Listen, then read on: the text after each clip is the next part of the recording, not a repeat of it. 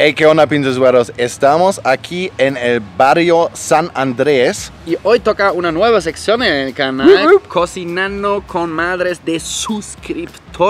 Entonces, si tú quieres también participar en este formato, o más bien tu jefa, pon abajo en los comentarios este hashtag y el lugar de donde vienes tú. Sí, y es una idea demasiado chida, ¿no? Sumamente. Es sumamente chida, no manches. Una cosa más antes de comenzar, siempre sigue compartiendo nuestros videos con tu abuelita. Una vez dicho esto, ¿Y ya todos los cholos en tu barrio? podemos comenzar. Comenzar.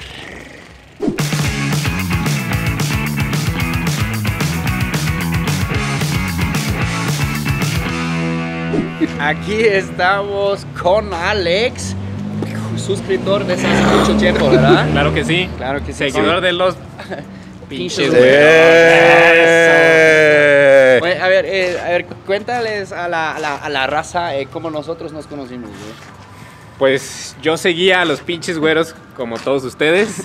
Y entonces un día me encontré a Jan en la calle y le dije, ¡Ey, pinche güero! Se bajó del Uber, Me ¿eh? bajó Se del bajó Uber, me bajé, del Uber, me bajé del Uber. Luego le unas dije, chelas, espérame, ¿no? unas chelas y todo lo que tiene que pasar con conocer a compas como estos cabrones. Eso.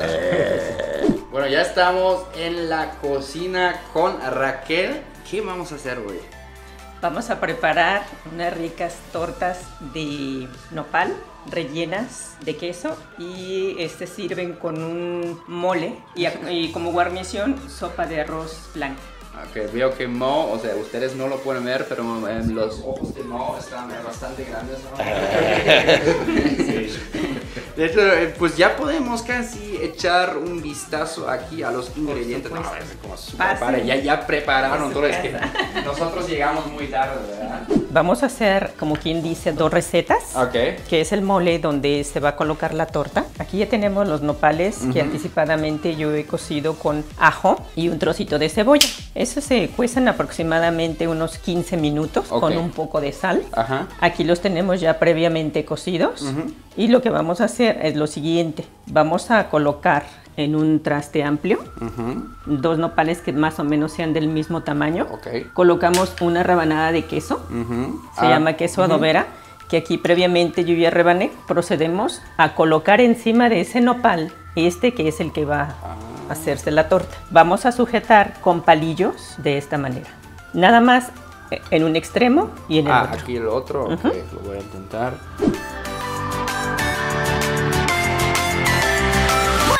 Out! The floor is lava!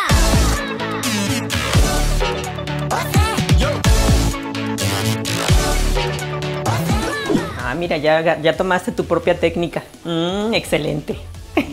Pinche chido. Chido, sí. Nuestros jitomates ya están asados. Va. Ok, apagamos y colocamos en nuestra licuadora. A continuación vamos a, a limpiar la pasta perfectamente y vamos a vaciarlo aquí a la licuadora, Ok. así como viene, tal y como viene. Sac, primero así. Round 2. Jan versus mole. este es el round número 2. Vamos a ver si Jan puede contra el mole, porque contra los nopales tengo mis dudas todavía. Perfecto, Eh, bien, muy bien, excelente. Ahora vamos a agregar el chocolate que les mencionamos que lleva tres cuartos de una tablilla, la que tenemos aquí remojando en caldo de pollo. Y a continuación vamos a agregar el caldo de pollo que tenemos, Ok, todo. eh, la mitad, para poder licuar, de- de- de- licuarlo. Así está perfecto. Tapamos y pasamos a, a licuarlo. Ahora lo vamos a colar. ¿Y por qué queremos evitar esto? O sea, Para que no se vayan la piel del jitomate ni las semillas. Ajá. Ya tengo aquí una cazuela de barro, que es muy tradicional aquí en México. Le ponemos un poco de aceite y enseguida vamos a agregar lo que licuamos. Nada más hay que checar, corroborar que efectivamente esté caliente. Lo que hacemos, vamos a agregarlo todo. Y le agregamos y vamos a menear con una pala de madera. Le vamos a ir meneando a ocasionalmente de esta manera. ¿sí? Enseguida vamos a empanizar eh, con harina, solamente harina, las tortas de nopal y las vamos a tomar de una en una, las pasas por aquí que se cubran totalmente de harina y las colocas aquí. De hecho, con tu mano incluso puedes hacer esto. Ujú. Exacto. Eso en Alemania lo conocemos de los schnitzel. Oh. Sí, de la milanesa. Ah, exacto, correcto. Así está bien, Ya ¿no? nada más la sacudes un poco, la golpeas aquí si quieres. ¿sí?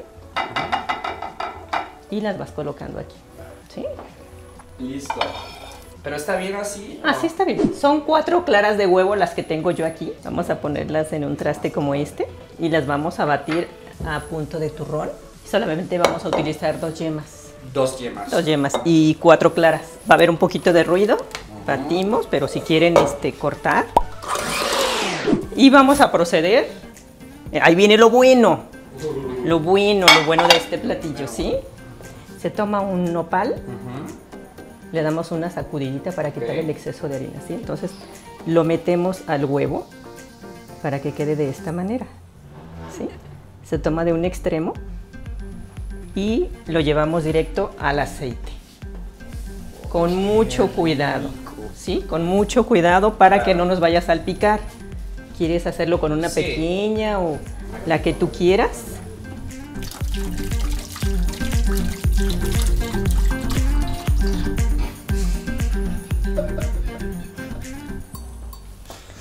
Das war schwer zu verkacken, Jan. Herzlichen Glückwunsch. Mission accomplished. Not. Creo que. Está bien, está bien. Con permiso, ¿eh?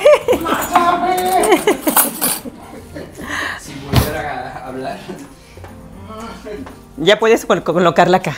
Pe- Pero está media. em, No, sí está bien, está bien, está bien. Ahí puedes este, quitarte.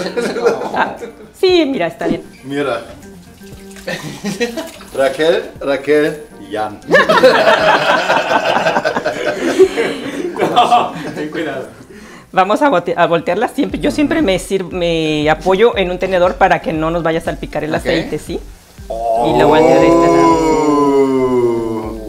Me recuerda un poco a la preparación de chile de. ¿cómo? Eh, Chile Relleno. nogada, que Ajá. Chiles en comí. nogada o Ajá. los chiles rellenos. Sí, es Sí. correcto. Leca, Entonces, leca. Ya está, esta ya está lista. Y después. al Después, no. en- en- no. Las vamos a Ah. colocar en este platito que tenemos aquí Ujú. para, que... se escurra el exceso de aceite. Y aquí ya tenemos nuestras tortitas. Wow. Pues ya quedaron listas nuestras tortas Ajá. y ya quedó listo nuestro mole. Aquí está. Lo vamos a servir con una sopita de arroz a la jardinera. Entonces ahorita este, montamos el plato para que lo vean ustedes. Ok. Sí, perfecto. Este, no sé si gusten traerse unas chelas o no sé. Yo no sigan esos consejos. No, no, no dejen que sus hermanos influyan en Ah. Mala influencia. Bueno, entonces procedemos de la siguiente manera. Tomamos una tortita, ya está nuestro arroz y ya servimos nuestro plato. Mole.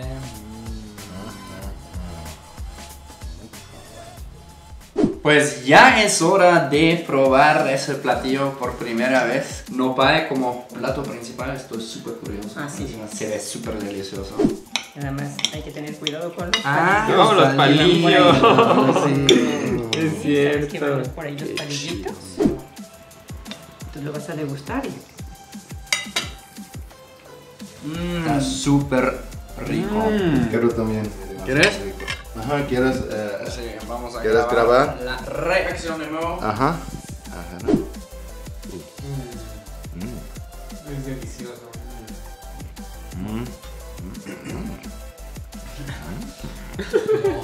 Creo que ese es el plato de Jan. Muy, muy rico. Raquel, felicidades. Muchísimas gracias. Por cierto, en exactamente una semana, otra vez el miércoles a las mo 2. A las dos. Siempre Exacto. a las dos. Dos, domingo y miércoles a las 2, tiempo de nuevo video de los pinches güeros. Vamos a estar en un tianguis que es bastante, bueno, no es bastante único, es único en México, entonces acompáñenos. También checa el video en el que nosotros fuimos a uno de los pueblos más mágicos de México, sin embargo no es pueblo mágico. Algo curioso. Si quieren saber por qué, hagan clic aquí arriba en la tarjetita o también el link está abajo en la descripción. Mil gracias por invitarnos, la neta, nos No, no, pasamos no, no. súper chido y aprendemos una nueva receta. Claro que Porque es, está chido para hacerlo en casa, o sea. Es un placer tenerlos aquí en casa. Conocerlos, son gente muy amable. Ah. Lindísimos, guapísimos. Bueno, este, para mi gusto, gente... Gracias. Muchas gracias. Cut.